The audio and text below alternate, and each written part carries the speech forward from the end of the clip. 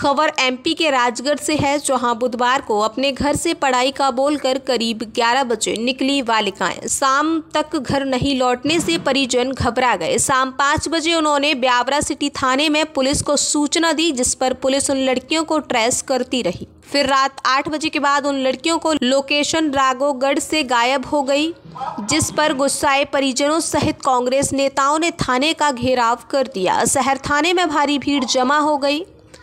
Police प्रशासन मुर्दाबाद के नारे लगाए गए और वहीं धरने पर बैठ गए।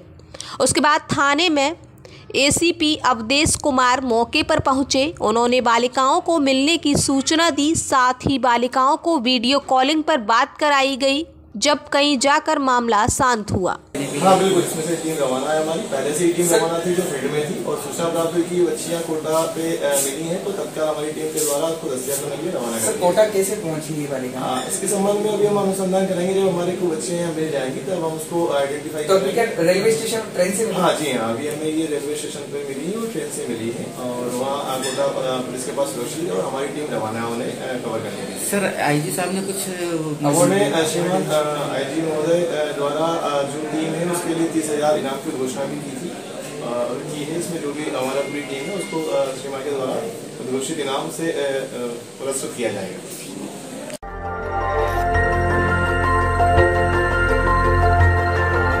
देखते रहिए डीबी भारती समाचार नज़र हर खबर पर।